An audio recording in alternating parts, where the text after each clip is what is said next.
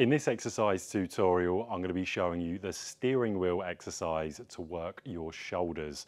there's a couple of nice benefits to this exercise.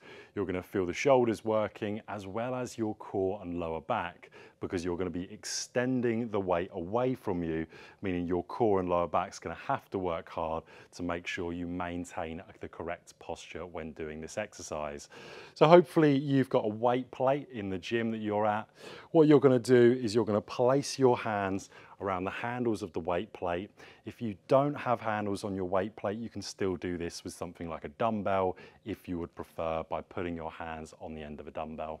So the first thing I want you to do before you even bring the weight up is I want you to just bend your knees slightly, take a little bit of pressure off the lower back. I then want you to squeeze your core, so brace your core as hard as you can. The elbows are completely straight as you come up into your front raise. You want to make sure that you've got your wrists in line with your shoulders, still bracing the core as much as you can.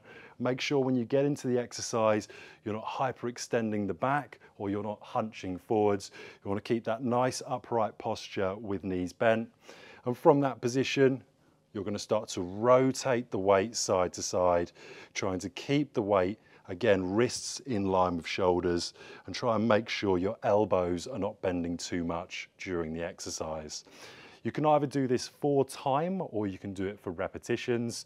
So again, from a front on view, we're gonna dip the knees, brace the core, make sure we've got the shoulders back, elbows completely straight.